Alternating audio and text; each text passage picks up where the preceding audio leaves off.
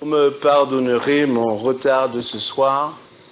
La circulation m'a tout simplement pris de court. D'accord Je ne m'attendais pas à avoir une circulation si dense pour arriver à l'église de Chauvel. Je vois que Dieu vous a permis d'arriver avant moi. Je remercie le Seigneur parce que cela vous a permis de prier pour moi. Amen, Seigneur. Amen. Samedi matin, nous allons, ah, avant de parler de samedi euh, matin, vous savez qu'on a un rendez-vous demain soir si Dieu veut. D'accord. Demain soir si Dieu veut. Oui, la danse pastorale. D'accord? Nous allons avoir une danse pastorale. La joie d'être d'ici. OK?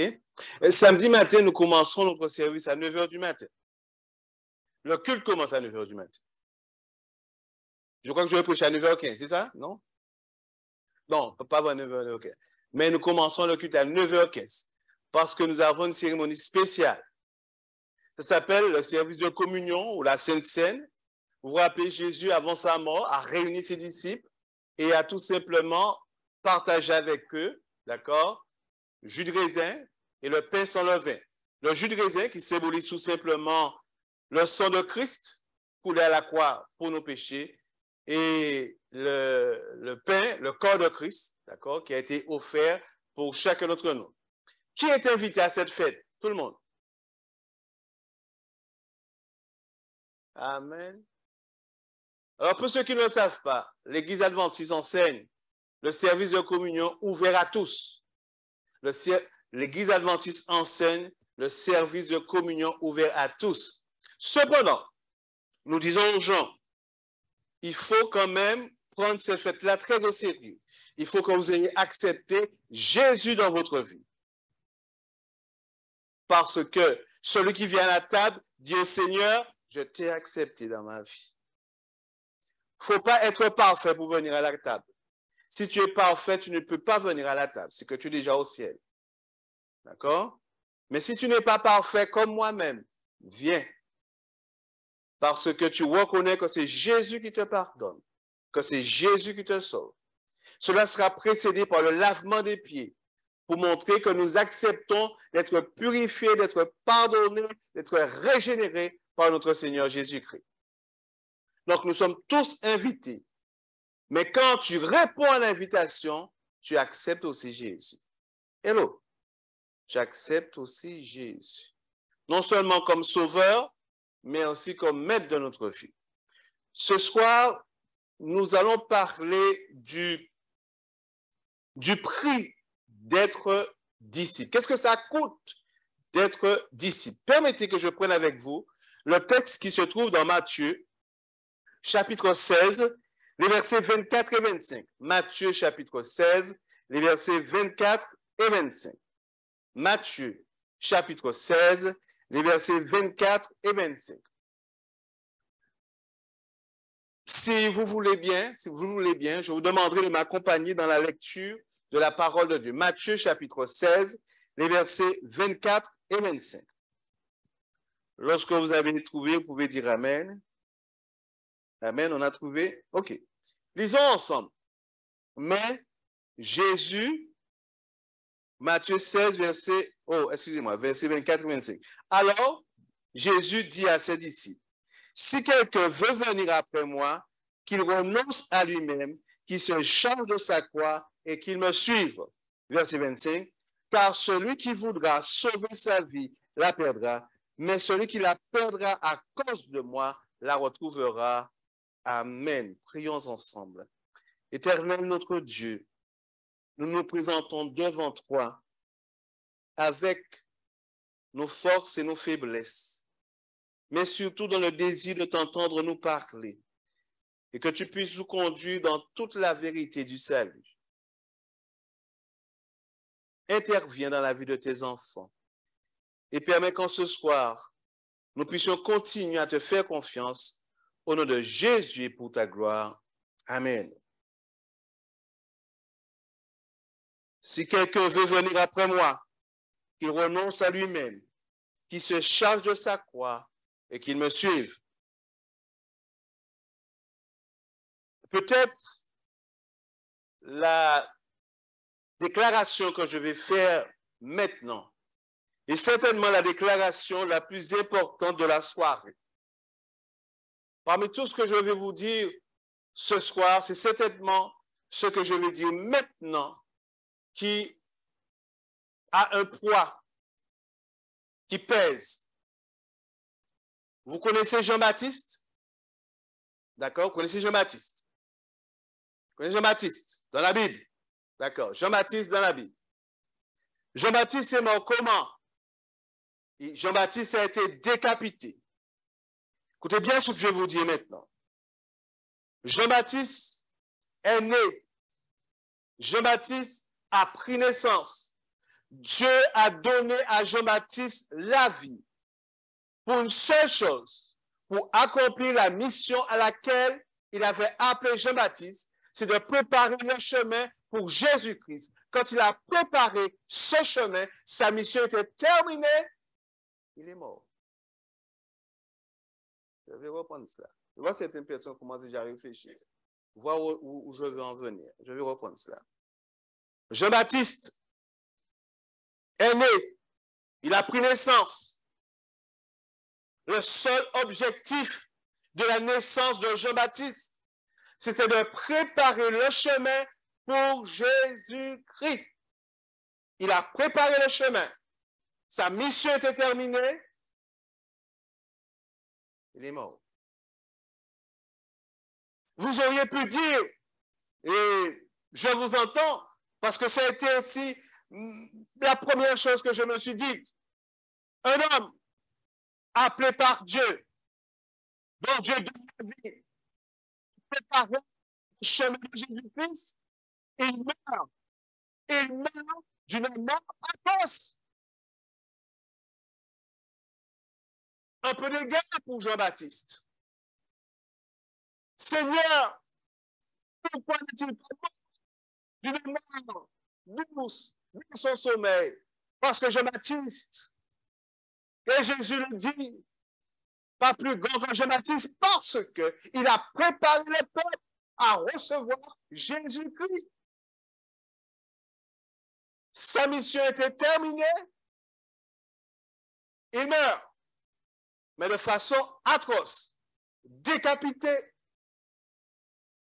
Et lorsque Jean-Baptiste se trouve en prison, alors qu'il sait que Jésus est Jésus, il est le moment de doute. Pourquoi?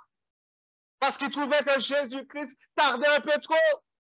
Et il a envoyé ses disciples demander à Jésus, es-tu réellement ici? Et Jésus a répondu, allez dire à Jean-Baptiste que les aveugles voient, que les boiteux marchent, etc. Laissez-moi vous dire une chose. Ce soir,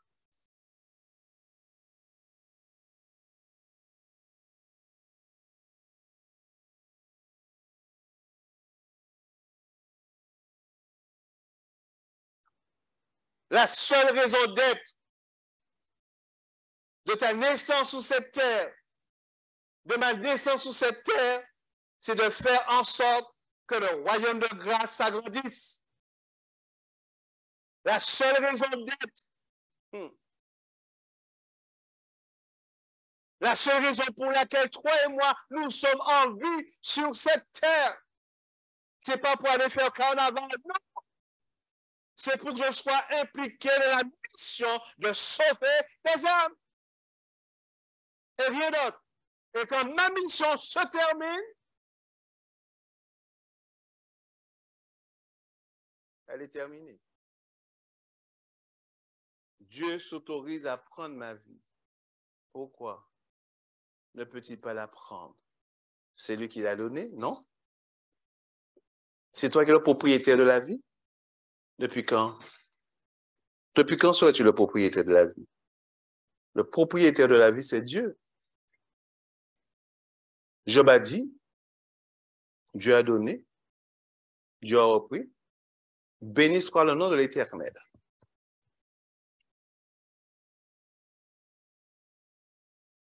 Je vous avais dit que les paroles que nous allons avoir entre aujourd'hui, entre avant-hier, aujourd'hui sont paroles. Ouais, c'est du sérieux quand ta mission sera terminée, Dieu se permettra de prendre ta vie. Ta mission et ma mission sur cette terre, c'est d'annoncer Jésus-Christ.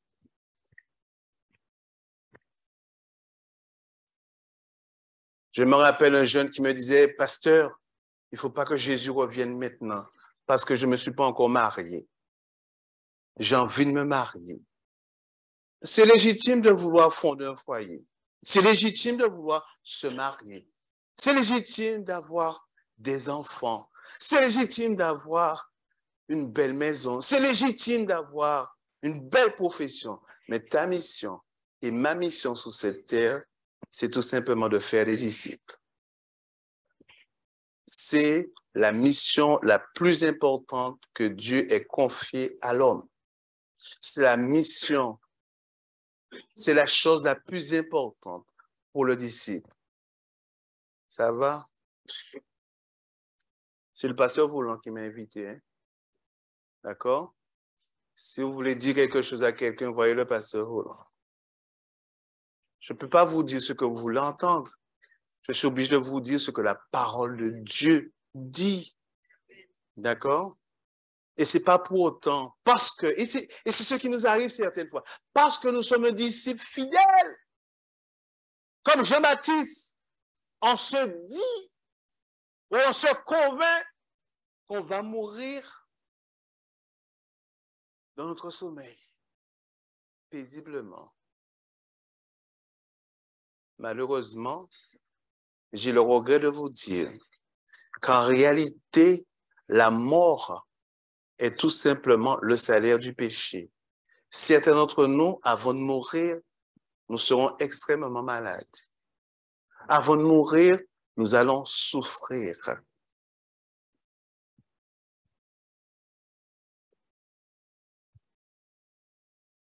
Vous ne serez peut-être pas décapité comme Jean-Baptiste, mais certains souffriront plus que d'autres. Mais dans ta souffrance, le Seigneur est à tes côtés. Ça va?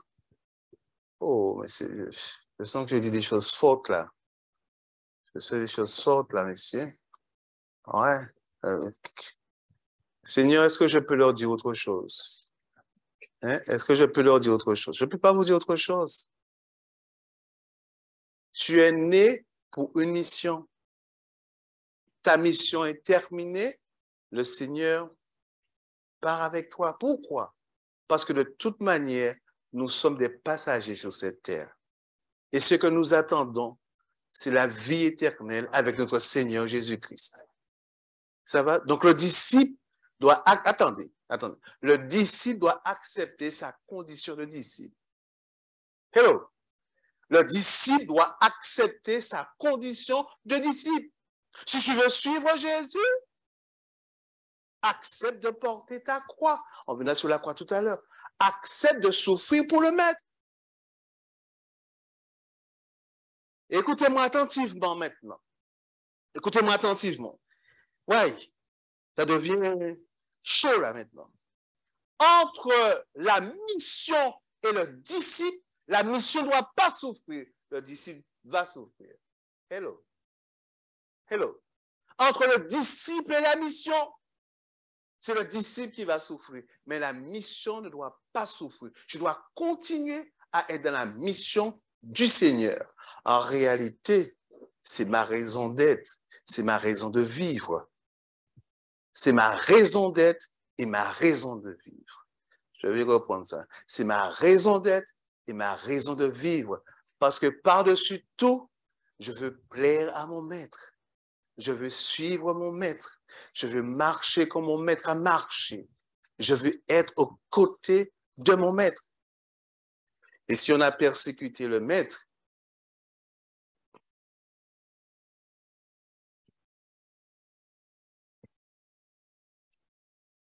donc vous avez des gens qui vous disent, oui, l'Église m'a fait souffrir. Oui, j'ai eu des problèmes. Oui, j'ai eu des difficultés. Oui. Mais bienvenue au club. Bienvenue au club. bienvenue au club, parce que le maître aussi a souffert. Bienvenue au club. Mais la mission de Jésus, qui était de mourir à la croix pour toi et pour moi, n'a pas souffert. Il a accompli fidèlement sa mission. Il aurait pu faire marche arrière. Et certaines fois, nous avons aussi envie de faire marche arrière. Et du Seigneur, pourquoi moi? Pourquoi moi, Seigneur? Ben, comme disait Paul, hmm, c'est une joie de souffrir pour Jésus. Personne n'a dit Amen à ça. Mais je peux comprendre, je peux comprendre, je peux comprendre. Hein? Mais c'est Paul qui l'a dit. Hein? Vous avez l'impression que Paul se plaisait à souffrir pour le Seigneur. Mais Paul te dit aussi que j'ai accompli fidèlement la mission du Seigneur. Ma seule raison d'être sur cette terre aujourd'hui, c'est d'être un disciple de Jésus et de faire des disciples. Ouais. Et ça ne va pas se faire sans heurts, sans difficulté, sans problème. Et quelle récompense que tu auras hmm, sur cette terre? La joie de voir des gens venir à Christ. D'accord? Mais ta récompense est tout celle que tu vas la recevoir. Quand Jésus-Christ reviendra. Quand Jésus-Christ reviendra, nous aurons notre récompense. Ça va, mes frères? Hmm. En tant que disciples du Christ, nous acceptions la crucifixion de notre moi. Notre moi doit être crucifié. Il doit être mis à mort il faut que le moi soit mis à mort, puisque c'est le moi qui m'empêche d'obéir à Dieu complètement et totalement. Parce que c'est le moi qui m'empêche d'aller faire des disciples. Parce que c'est le moi qui est en contradiction avec la volonté de Dieu.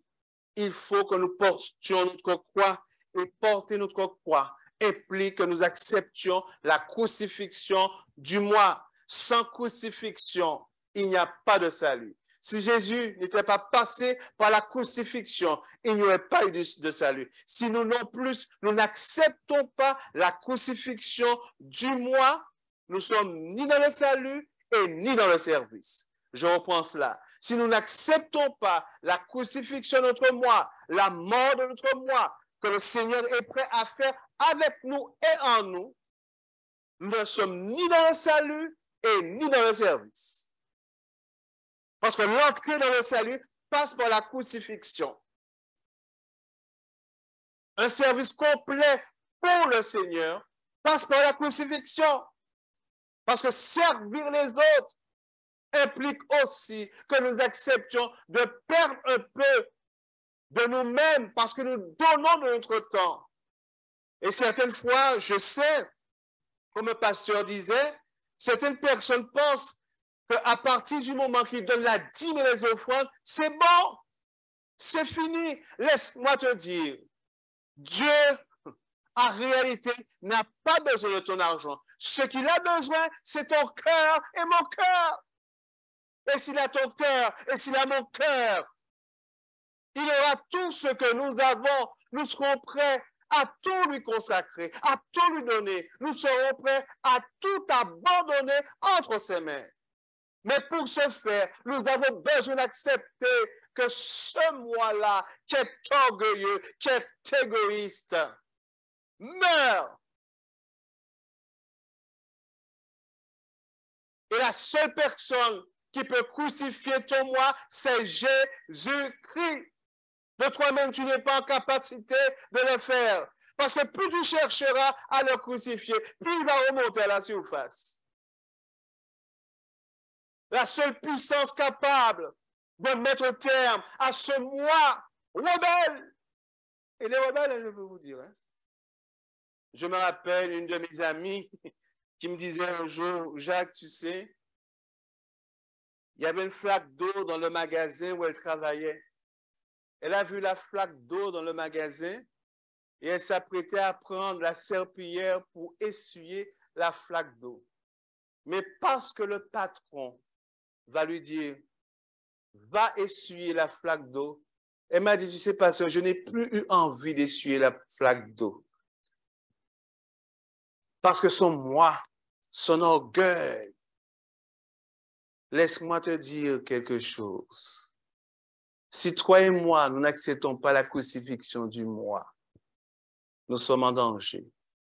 Nous sommes en problème. Parce que c'est la condition sine qua non. Je dis bien la condition sine qua non, indispensable pour être pleinement au service de l'éternel. Ce mois-là doit mourir.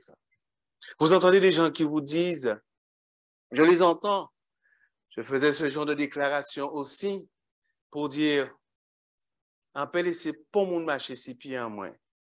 OK? D'accord? Ouais. C'est moi. Ouais. C'est moi.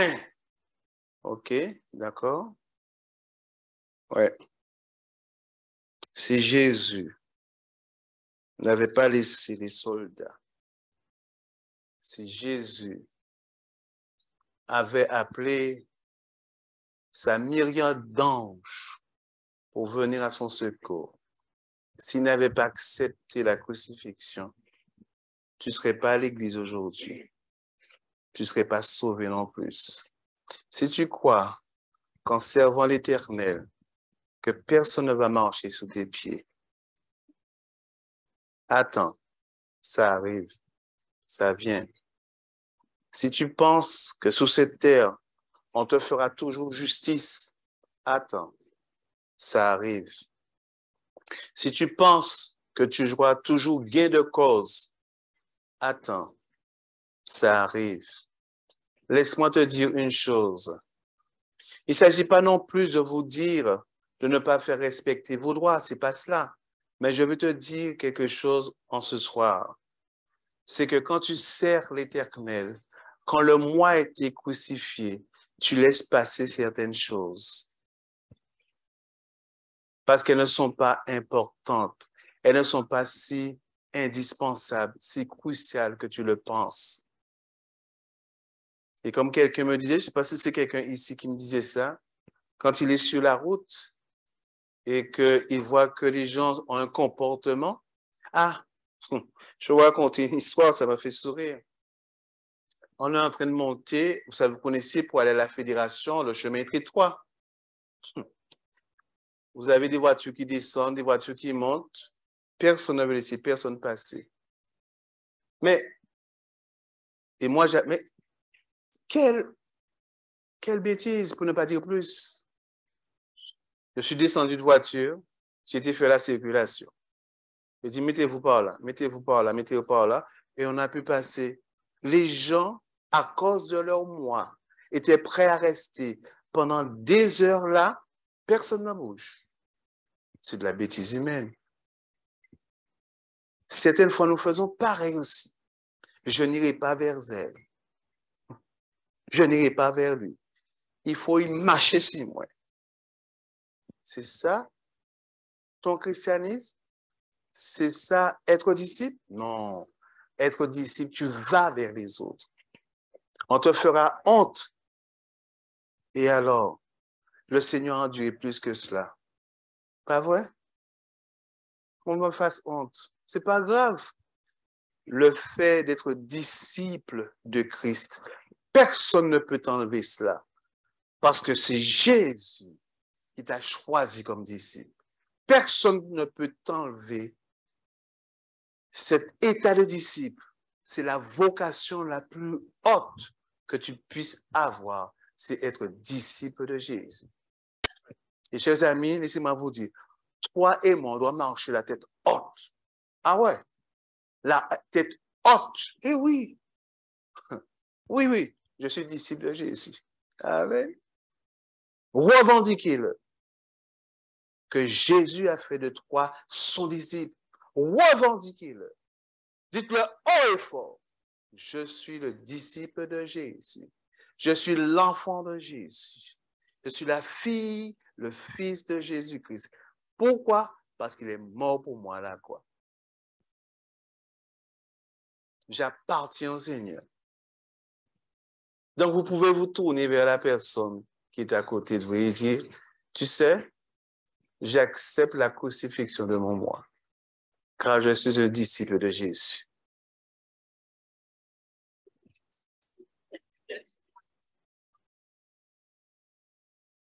J'accepte la crucifixion de mon moi, je suis un disciple de Jésus. J'accepte la crucifixion de mon moi, je suis un disciple de Jésus. Ah, j'accepte la crucifixion moi, je suis un disciple de Jésus. D'accord? J'accepte la crucifixion de mon moi, je suis un disciple de Jésus. Ah, d'accord. La crucifixion de Jésus, ma crucifixion de mon moi, et je suis disciple de Jésus.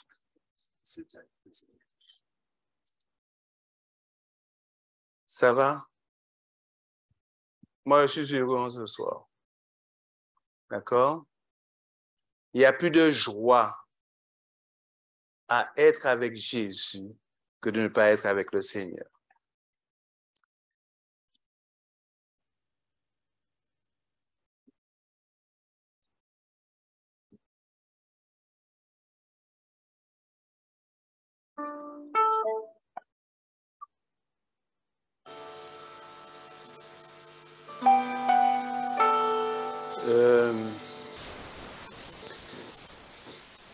Demain soir, Dieu voulant, sera une belle soirée pour nous.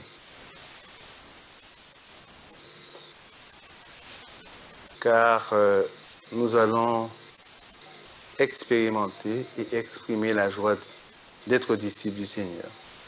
Bon, ce soir, que le Seigneur puisse sceller notre engagement et que nous continuions à avancer avec lui. Amen.